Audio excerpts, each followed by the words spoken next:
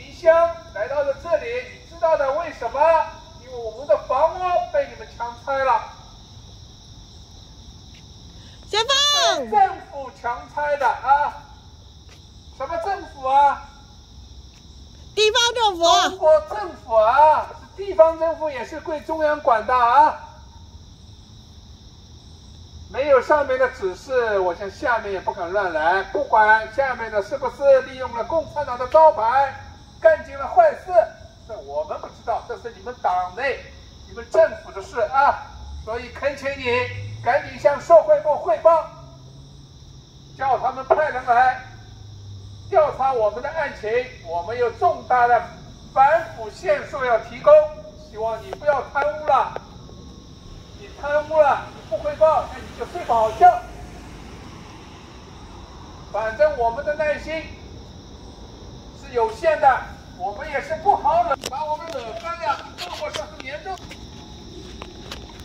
先锋出来啦，解决问题喽！先锋，民主不是挂在嘴上的，民主是要解决人民需要解决的问题的，这是你说的吧？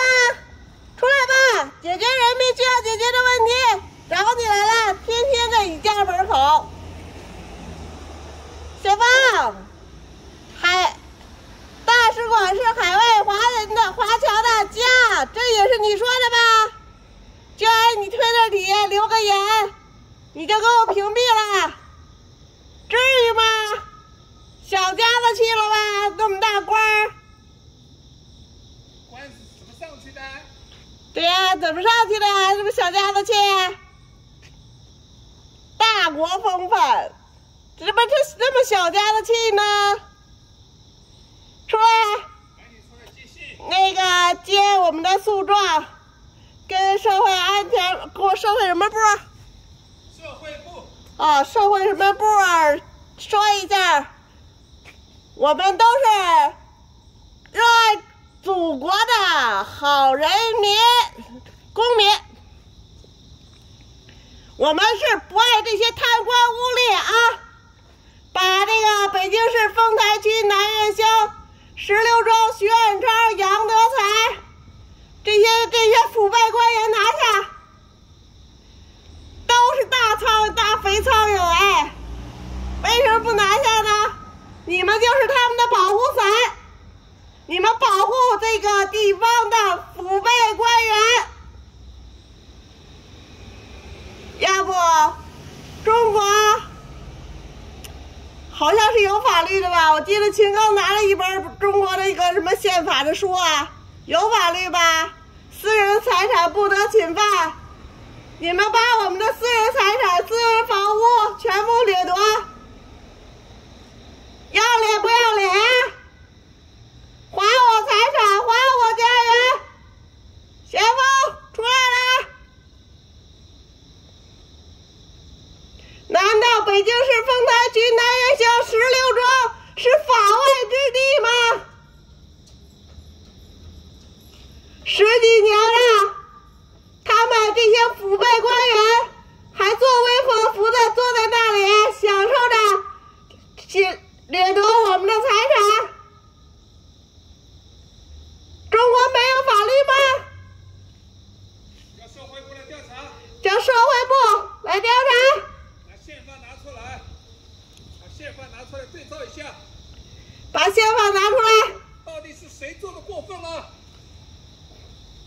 看看这个人民的个人私有财产，是不是上面写着不得侵犯？你们就那么掠夺、抢劫、压迫、打压我们老百姓，走在路上就能被你们随便打，就能随被你们随便抓？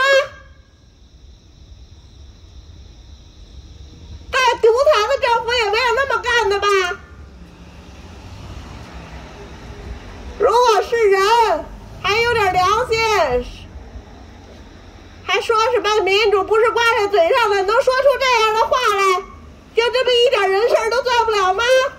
先锋赶紧起床。起床了。出来了。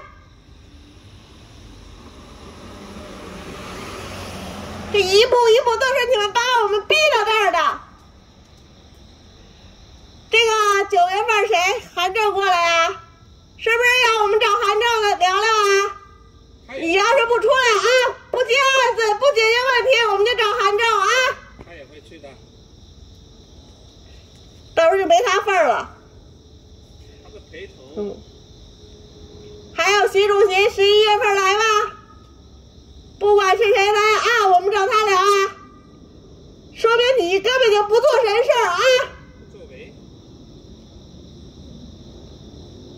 就好到你这儿了你自己记清楚啊。